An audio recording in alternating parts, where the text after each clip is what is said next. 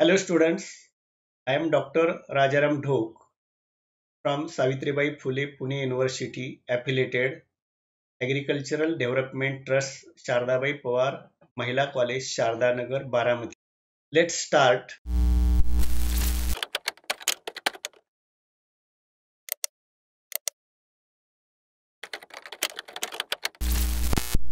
Ionic Solids Lecture 6 Calculation of Radii in the last lecture, we have discussed what is by ionic radii and how they are measured with the help of Pauling principle. Now we see the calculation of the univalent radius of oxide ion that is O2 minus ions. The electronic configuration of oxygen atom is 1s2, 2s2, 2p4 so total number of electrons present in oxygen are 8. That oxygen atom gains 2 electron and forms oxide ions, O2 minus ions.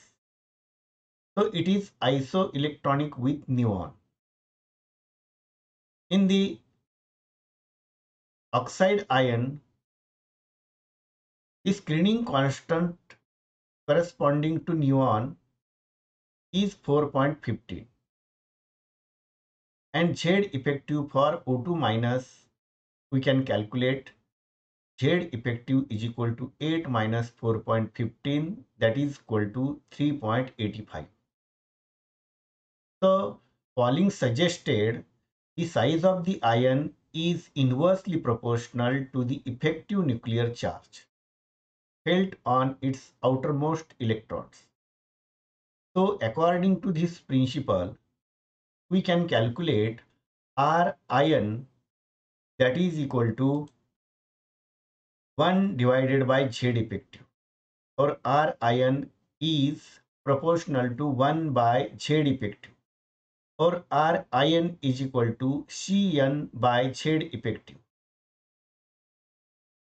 or we write R ion is equal to Cn divided by Z minus sigma. Z effective means Z minus sigma. So here Cn means one constant that is called as proportionality constant. And this proportionality constant depends on principal quantum number n of the valence electron. So we can calculate here Z effective is equal to actual nuclear charge minus screening constant that is Z minus sigma. So actual nuclear charge of oxide ion or oxygen is 8 and screening constant is 4.15. So for this molecule, uh, sorry ion, here 8 minus 4.15 is equal to 1.83. So this is the sigma value.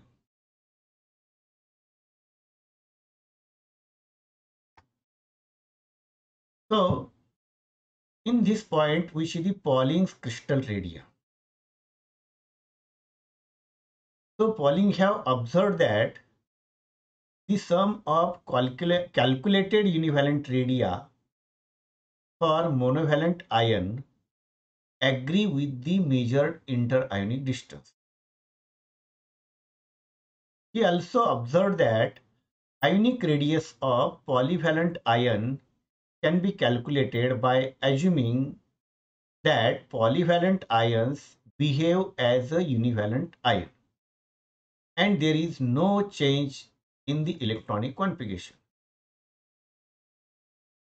So we take example in MgO calculated univalent radii of Mg plus 2 and O2 minus ions are so in that Mg 2 plus radius is 0.82 degree Angstrom. O minus 2 ion radius is 1.76 degree Angstrom. And by calculation, we get the internuclear distance. So in that, observed MgO distance is 2.05 but actually calculated internuclear distance is 2.58. So Pauling found that here calculated internuclear distance and observed internuclear distance they are different. Then also he studied the second example that is the calcium oxide. So equivalent radius of calcium 2 plus ion is 1.18 and O2 minus ion is 1.76. So calculated ionic distance is 2.94 and actual observed internuclear distance is 2.39. So this is also observed and calculated values have difference. And here the calculated and observed values do not agree with each other because here calcium 2 plus ion, Mg2 plus ion, O2 minus ions, these are divalent ions. And in divalent ion and in monovalent ion, radius of that ion is not equal, it is not agree with each other. And for that purpose, Pauling have modified the conversion formula we have given one formula for the conversion of univalent radia into the polyvalent radia. So, here we see the conversion of univalent radia to crystal radia or polyvalent radia. So that Pauling have found that the univalent radia Ru are multiplied by a factor to convert them into the crystal radia. And for that purpose, he studied the different examples and he developed one formula. And by that formula, if univalent radia is multiplied, then the value obtained that is equal to the crystal radia.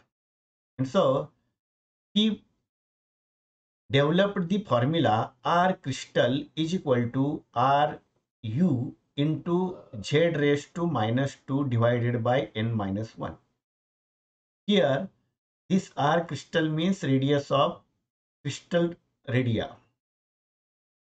Then Ru means radius of univalent compound or univalent ion. Z means the charge on the ion. Then small n means that is the Born exponent.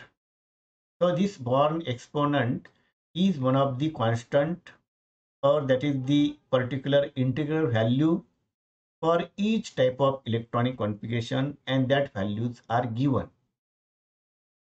So we see the some values of Born exponent which is a constant values so for the various electronic configuration or inert gas configuration, these values are given.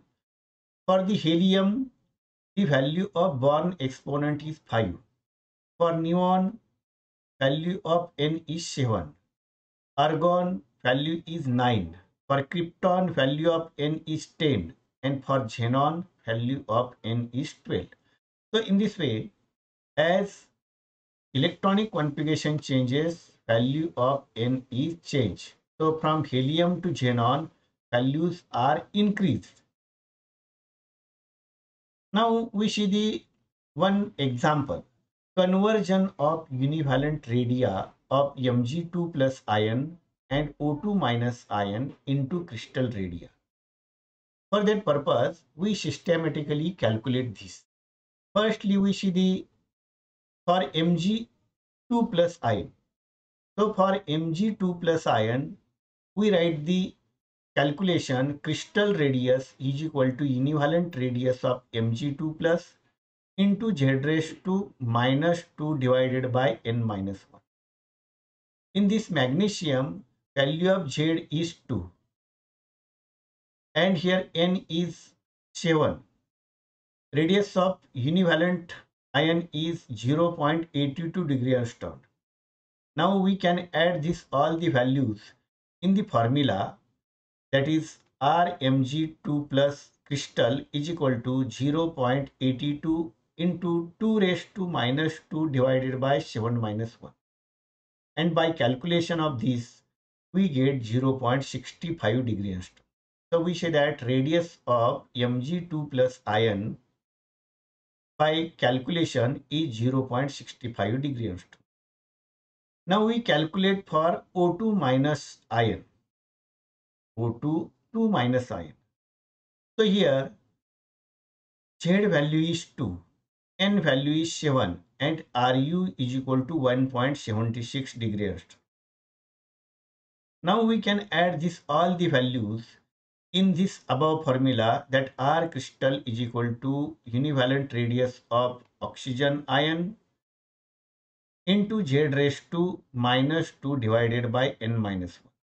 So here we add these values R O2 minus crystal is equal to 1.76 into 2 raised to minus 2 divided by 7 minus 1 that is equal to 1.40 degrees. So by calculation we get the value of O, O2 minus ion that is 1.40. Now we can calculate the interionic distance of MgO means that is radius of Mg and radius of O ion that is 0.65 plus 1.40 that is equal to 2.05 degree Now in the MgO observed internuclear distance that is also 2.05 degree Angstrom and calculated internuclear distance by calculation there is 2.05 and so here calculated value and observed value match with each other.